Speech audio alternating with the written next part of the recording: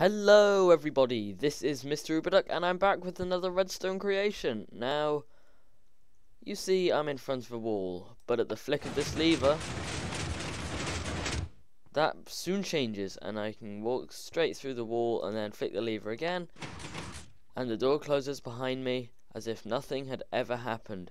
Now this is in fact a 3 high expandable wall door, which means that there's no redstone running up the sides, so instead of having lever would be on the wall like that, you in fact take out all those blocks and have levers like this. Now what this means is that you do see these blocks moving because the only way we can get signal up is by pushing blocks up and on top there's a redstone block and that's what carries the signal. But it is, for all intents and purposes, seamless. Now they this may not look very small to you at the moment, but that's because I've had to add on a few blocks to get the input easily accessible for this showcase. So let me just strip it all back and show you what it looks like. So this is all the redstone, and now it looks much smaller, doesn't it?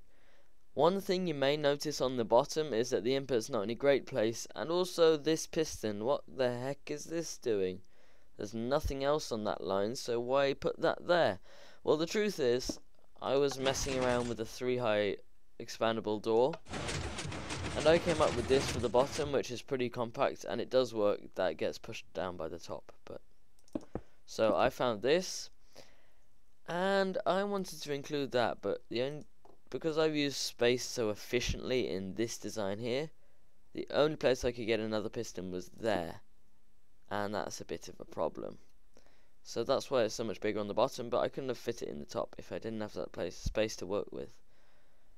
So the top is actually pretty crazy because I didn't expect this thing to work. I got half of it done and I was just testing it. Then the whole thing worked. And that's because this actually pushes up twice if you watch it. See, it pushes up again. And that just gives me a free pulse into this thing so I can get a double to work with this little wiring which is fantastic. The top is very messy though because I didn't actually have to compact it in the end so I haven't bothered to change it. But I think this is the world's smallest. If I'm wrong feel free to correct me. It's not that efficient my use of space. As you can see I've just got two blocks and two redstone taking up a whole layer one piston taking up the whole layer on the bottom but it, but you know it's okay. So this comes in at 3 by 12 by 7, making it 252 blocks, which is very small. I you don't include these two pistons here; they're just for show because the whole circuit, none of it is actually used in these two layers. None of it. I could take these two layers out and the circuit would still work properly. That's what I'm trying to say. Um, you may think this down here, these are powered by the torches. Doesn't that count? Well, technically no, because that's still an input, which is why it's in the quartz, but I mean, it's, it's your decision to make, really. It doesn't make a difference in your survival. But this is just for being able to say, yay, I've got the smallest. Now, it's you just saw there, it's not very reliable, but it works most of the time. It's failed about 1 in 10 times for me.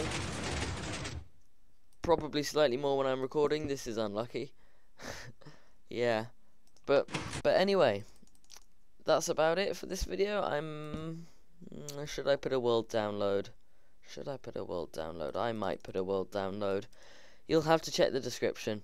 But just some quick news, I've actually uploaded a video on my new channel, Mr. Cuberduck. So that's an unboxing of four twisty puzzles. If you want to go and check that out, feel free. I'll link that in the description. I should be uploading fairly regularly on that channel. I won't have a timetable or anything, it's just whenever I feel like it. This channel will still be my main though, so don't worry. But anyway, my name's been Mr. Uberduck. Thank you guys ever so much for watching, and I'll see you all next time.